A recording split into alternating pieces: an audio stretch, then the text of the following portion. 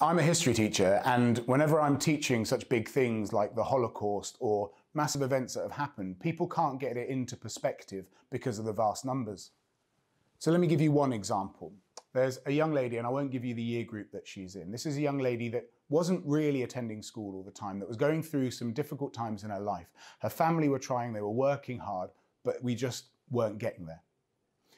During lockdown, she didn't have a laptop, she didn't have a device, and she wasn't able to access it. But as a, as a result of the good work we'd already done, they asked for one.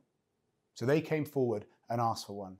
The good people at Keep Kids Connected were able to deliver a laptop to her. She began slowly, getting involved, getting into some of the lessons. Then she went to all her lessons, leaving messages in the chat. Then she reached out to her teachers with those messages in the chat, told us how she was feeling.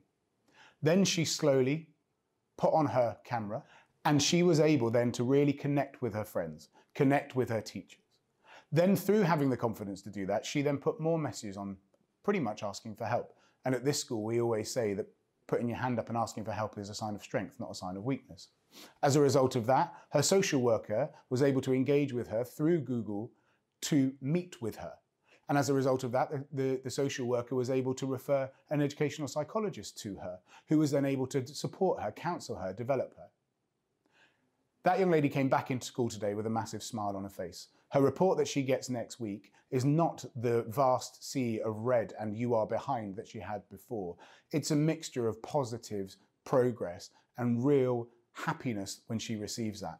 That's what a laptop can do. It can give people access to what they didn't know and the confidence to put their own hand up, and it can change their lives.